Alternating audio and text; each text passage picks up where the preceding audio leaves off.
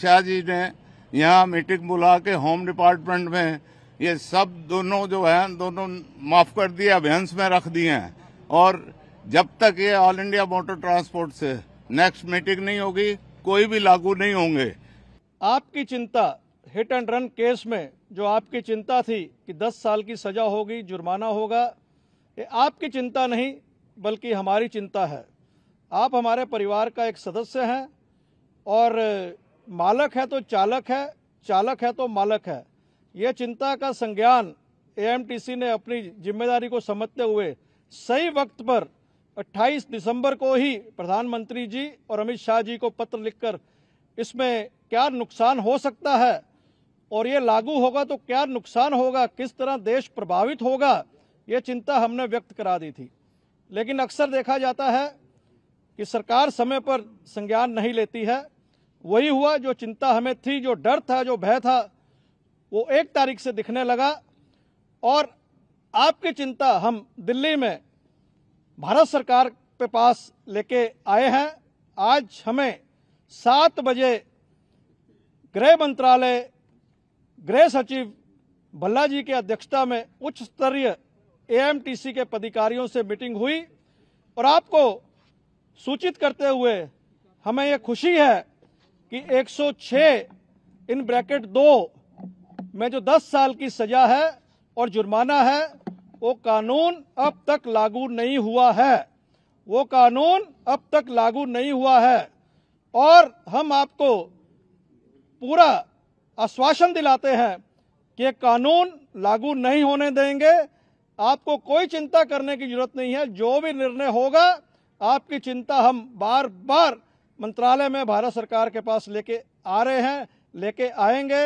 आपको एक बार फिर सूचित करना, कर रहे हैं कि आपके जो मंशा है कि 10 साल की सजा और जुर्माने का कानून अभी लागू नहीं है, अभी लागू नहीं है।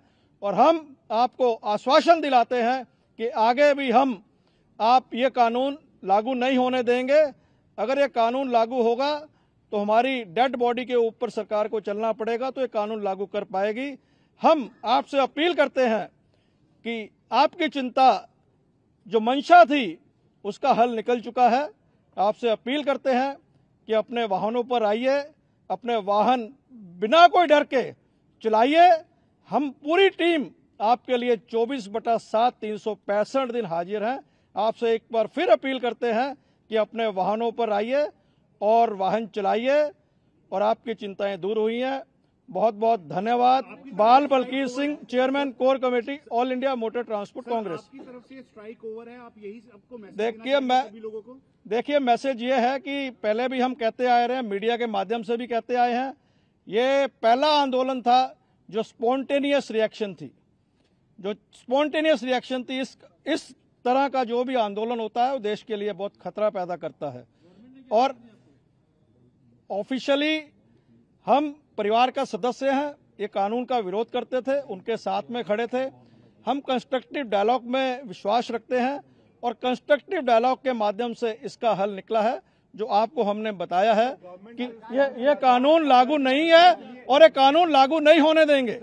जो चिंताएँ ड्राइवरों की थी, वो all India motor transport Congress हमारे पास लेके आई है, उच्च स्तरीय मीटिंग हुई है और हम स्पष्ट करना चाहते हैं ये सरकार की मैं बोल रहा हूँ, जो सरकार ने अपनी स्टेटमेंट दी है मीडिया में दी है और प्रेस रिलीज़ थोड़े ही समय में सब लैंग्वेज में आपके पास आ जाएगी। उन्होंने स्पष्ट स्पष्ट कर दिया है कि 106 दो 10 साल की सजा जुर्माना का कानून लागू नहीं है और इसे आगे हम चर्चा करेंगे और हमें आश्वासन दिया है और ये हम भी उनसे अशोर्ट करके आए हैं कि कानून आगे भी लागू नहीं होएगा। एक प्रक्रिया है। सर, ये आपका कानून आया था देखिए देखिए देखिए सुनिए बात।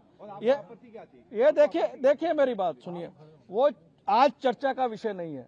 आज चर्चा का विषय ये था जो अंगार लगी है उसे कैसे बुझाना है? सुनिए मेरी बात उसमें हम नहीं जाना चाहते। आप अलग से प्रेस कॉन्फ्रेंस कर लीजिए। जो जो आपकी म... नहीं नहीं जो मंशाएँ होंगे उसका जवाब देंगे। आज आज हमारा हल निकालना था। हमने हल निकाला है। कानून आज की डेट में लागू नहीं है और आगे भी लागू नहीं